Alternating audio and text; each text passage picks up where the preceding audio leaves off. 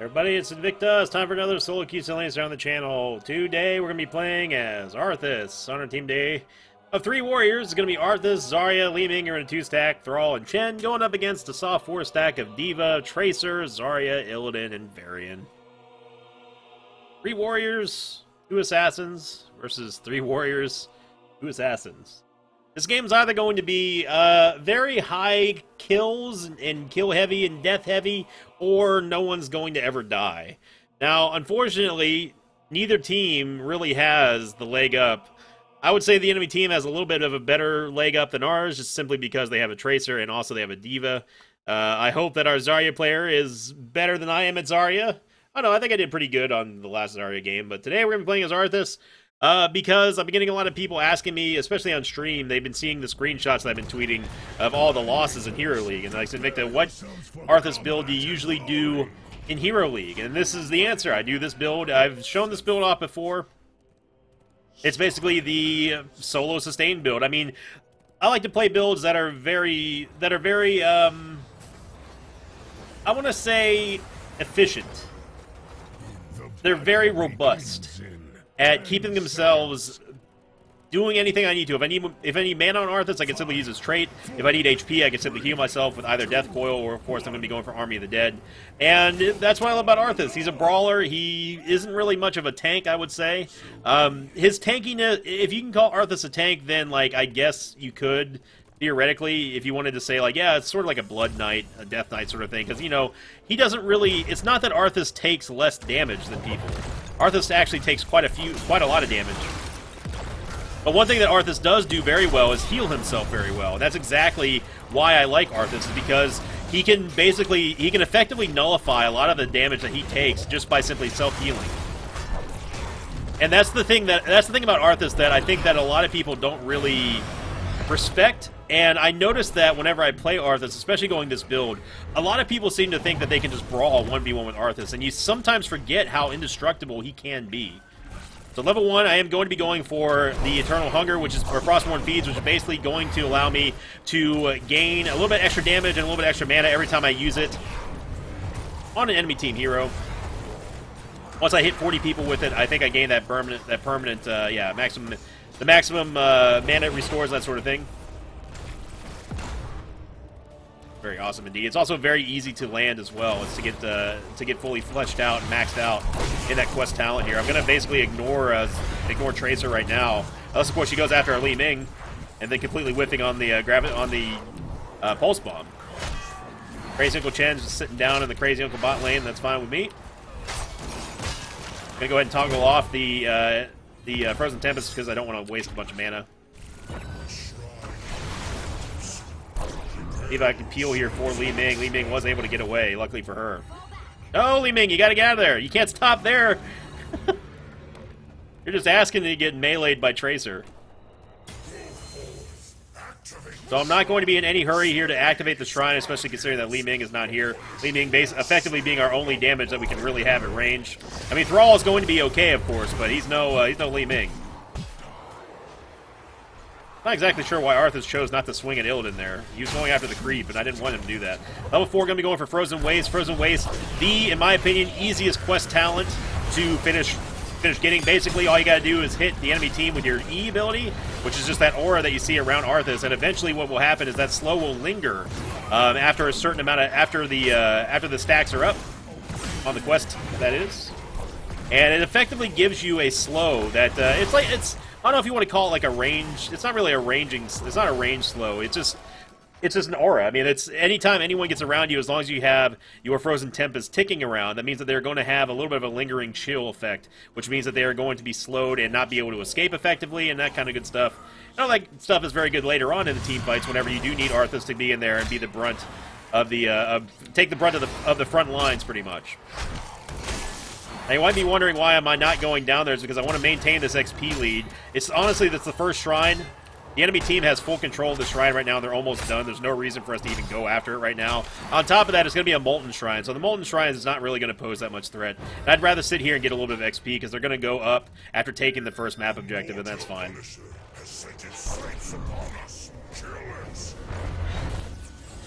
So we should be able to stop this uh, stop this Molten Punisher here. There he goes, right over the wall.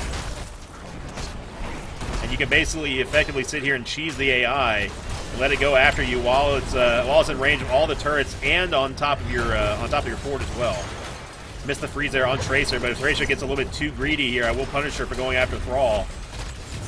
Chen going a little bit too deep there. I'm not exactly sure why. He's trying to sit there and brawl with the rest of the enemy team, and the uh, and the Punisher just basically picking away at him. The first Punisher didn't really do a whole lot. Chen shouldn't have died there, but again, it's pretty inconsequential.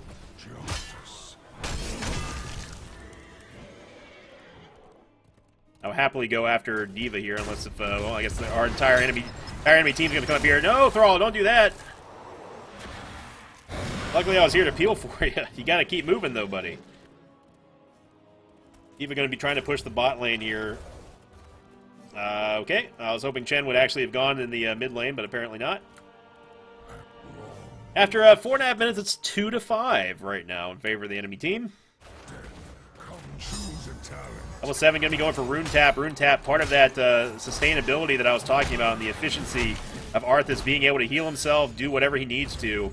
Every third basic attack that Arthas does is going to restore 4% of his maximum HP. And that may not seem like a whole lot now, but remember, that's going to scale with the levels that we get and all the stat ups that, uh, that Arthas gains as well from leveling up. So more HP, he heals for more, that means he's going to be able to recover more. Let's sit here and just basically freeze this night camp. Whatever else we can do up here. Again, if you're going up against a Zarya player, the best thing to do is simply just not attack her. Don't attack her, don't attack the shielded target.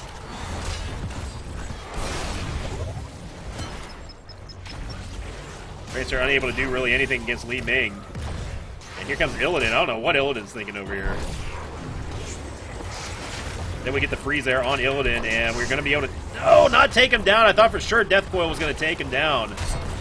Illidan getting away with one there. The next shrine is going to be active here. So this is going to be a Frozen Punisher. Again, a little bit better than the uh, Molten Punisher. Not quite as good as the Arcane Punisher, of course. It's certainly worth fighting for if we have a good position. Right now, the enemy team is not in a good position here, but I do want to get behind D.Va.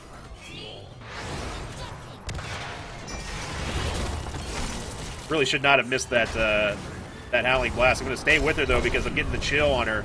Unfortunately for us, Zarya actually came out at the last second to save D.Va.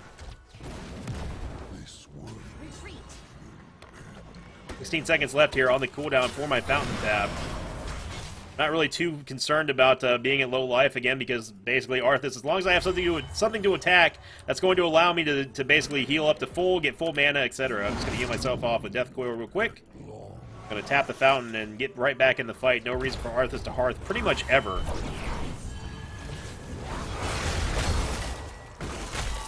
I'm gonna walk with Zarya here to make sure that she is not able to get away from me and Chen. And again, you see how annoying Arthas can be just walking with you here. She uses pain is temporary, but I still get the freeze and down she goes. Fortunately, Uncle Chen went over the wall, so we're gonna have to go in here and mess with Illidan for a little bit. Enemy team did get uh, their heroics here, but we're going to get ours as well. Level 10 going to go for Army of the Dead. Army of the Dead is going to allow me to have a lot more sustainability and survivability in these team fights. Going to get stuck by Tracer, make sure I don't spread it to anyone on our team. And now is when Arthas really starts to take off as far as being the solo king that he is. Gonna you go ahead and let it fly here. Go after go after Varian because unfortunately I couldn't do anything about uh, about Li Ming going down. Illidan using the hunt on me. Basically, a 3v2 right now is me, 4v2 right now is me, Zarya, are taking on the entire enemy team. Unfortunately, I did run out of mana here, so I am going to have to basic attack and come back. I did lose all of my ghouls. But uh, Illidan and Tracer still trying to take Arthas down. You can't do it. Good job by our Zarya player staying alive and make, taking good attack angles as well. Colossus Smash going off on uh, Chen. I didn't stay for the full heal because Arthas doesn't need to stay for a full heal. Unfortunately, Chen was not able to escape the hunt. Hoping Zarya is able to take down uh, Varian here. Enemy team, do, they do get their Frozen Punisher here. Oh, Zarya. Zarya with the whiff on the Graviton Surge. Almost able to get Tracer there.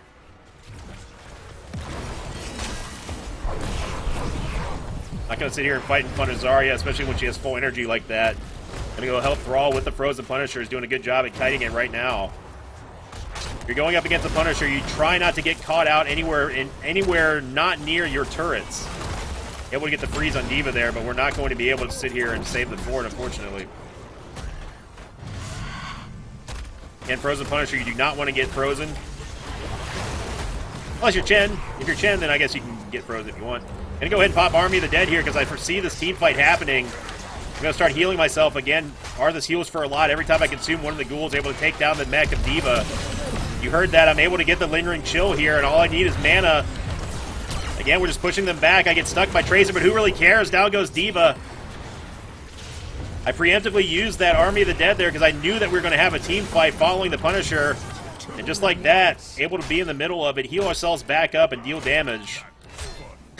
As far as lane pushing is concerned, uh, yeah, that wasn't a misclick. That was the mid lane and the uh, and the bot lane looking very similar. Very solo QE situation here. Arthas, where are you going? Remember, with Rune Tap, you always want to be basic attacking because that's the only way that you're going to be able to gain any benefit out of taking that talent. Heal yourself 4% of your HP every time you get three basic attacks on an enemy. Varian was sitting down here, and actually he's going to go after Thrall. If Varian tries to fight this, it's going to be unwise. He knows that me and Chen are down here. I know that he knows Chen is here because he saw him.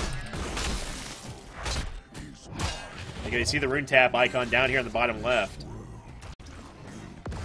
Eva and Trace are going to try to push the mid. Remember, they are in a two stack. Enemy team does they do have a four a uh, hard four stack. I don't know what Zarya's doing. Gonna go after Varian here. I do have Army of the Dead up, so when he uses Colossus Smash, I'm gonna be able to hopefully slow him down enough to save Li Ming. Although Li Ming, you gotta move. There you see. Oh, Chen actually took Varian. Chen actually took Varian out of the Graviton Surge. Oh, Varian. Level 16 I did go for. Howling Blast reduces armor. So whenever I land my W on an enemy team, on, en on an enemy target, that is going to basically strip their armor and cause them to take way more damage. Almost got the kill, man. If we had had Frostmourne Hungers up, Tracer was DED dead. But uh, unfortunately, our Chen player decided to take Varian out of the Graviton Surge with Wandering Keg, and that completely screwed over Li Ming and everyone else who got hit by him. After 11 and a half minutes, it's 16 to 8. Very good. Very nicely done. I might have half of an assist. Or half of a total kill, I'm not sure. Oh, yeah, that must be D.Va's mech. So this is the uh, this is the shrine that we can't afford to give up for free, and then we're going to do just that in standard Team Solo Q Mid Silius 9 LMQ Copenhagen Wolves Toys R Us Haverway Toasty Quizno Subway FBI Investigation Station Way, and uh, you know, that's just just how we do things here. Li Ming decided to brawl with Varian again one on one, which is never a good idea. If we can get a garbage cleanup kill here on, on Varian and Tracer, that'd be nice. I'm gonna see if I can catch up to her. I've seen worse outcomes.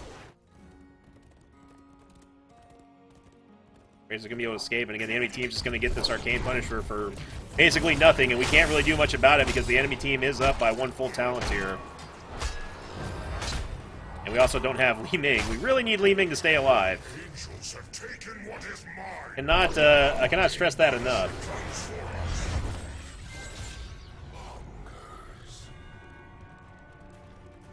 We'll see how brave the enemy team decides to get here with this push. I don't know what Chen is doing. Chen, you can't... Woo! Alright, Chen using Wandering Keg to try to get out of there. And he's going to run right into the Arcane Beam. There is, uh... There's the Graviton Surge. That actually hit us, huh? Graviton Surge used by Zarya. Not our Zarya, by the way. The enemy team Zarya. Did pop Army of the Dead here just to try to get a little bit of healing. I'm going to tap the fountain before it goes down as well. But I think that's going to be the game. So yeah, this uh, this game went about as well as Solo Q would expect. Final total is going to be 9 to 20. Thank you for watching, everyone. Hope you enjoyed this Arthas build. Uh, I'll leave a link down below to the rest of the build. It's a quite quite a fun build, quite a good build. Don't take it really from this game, but uh, all I can say is, woo! Unless the enemy team decides not to actually finish this game, which I think they should.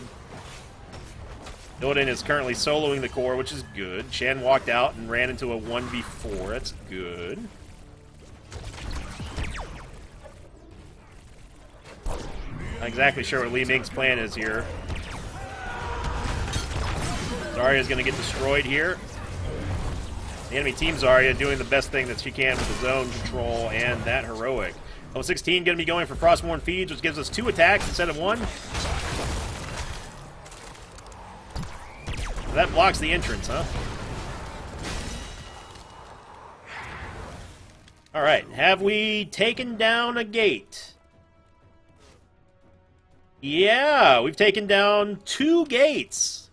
Two gates and uh, and some turrets. Look at that. I'm going to go ahead and just top myself off over here. Because that's a smart thing to do. Yeah. So be it. Game's not over quite yet. Enemy team could have definitely ended it. I'm not exactly sure why they wouldn't. But they are up by three levels and uh, 11 kills. Chen's died six times. Gonna go clear the top wave just because we need XP and uh, we can't exactly fight a team fight right now. Frostmourne Feeds is going to get two charges on my uh, on my trade ability instead of just one. Now, we finished out our Lingering Chill a long time ago, but obviously it's going to take a while for us to get Frostmourne Hungers done. I mean, if, if we are going to try to fight a team fight, I suppose now is the time to do it. We have a good position here, and this is going to be, I'm guessing, probably the Mortar Punisher.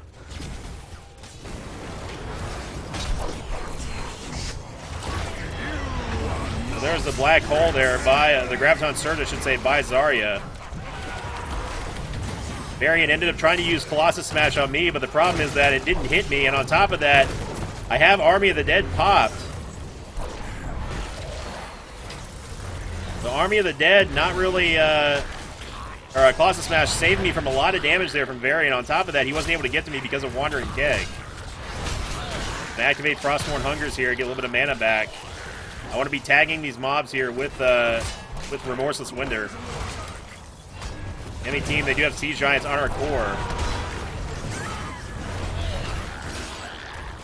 Again, all I need to do is basically just touch the enemy team's heroes with my uh, with my Frozen Tempest, and that basically roots that effectively roots them because they're no longer able to get away from me.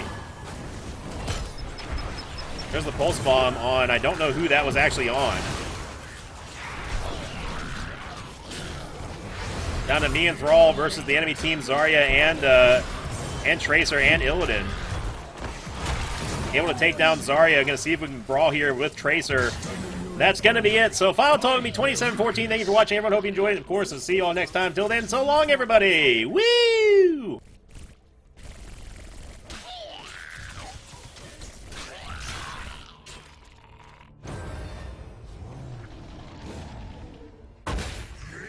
Have brought forth a Mortar Punisher. Our core is under attack.